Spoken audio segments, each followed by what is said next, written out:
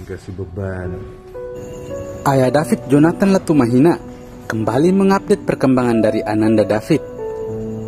David kali ini terlihat tanpa bantuan sudah mulai melatih berjalan, mulai dari nol karena cedera otak parah yang dialami Oh, yang setelah penganiayaan brutal yang dialaminya.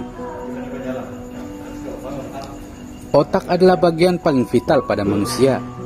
Ketika terjadi cedera traumatik berat, maka tubuh akan mengalami malfungsi motorik dan kognitif. Yang dulu bisa berjalan, melompat, berlari, dan kini harus belajar berjalan lagi akibat cedera otak berat. Pun dengan ingatannya kembali seperti bayi, mulai dari nol, dan meninggalkan banyak luka permanen, fisik dan mental. Semoga tidak ada lagi seperti ini yang dialami siapa pun. Tulis Ayajo dalam postingan tersebut.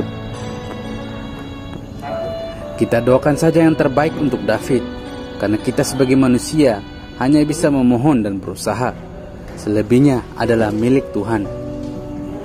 Jangan lupa subscribe channel ini agar tidak ketinggalan berita kondisi David terkini dan share sebanyak-banyaknya agar yang selalu mendoakan David juga bisa mengetahui kondisi David hari demi harinya. 题，对？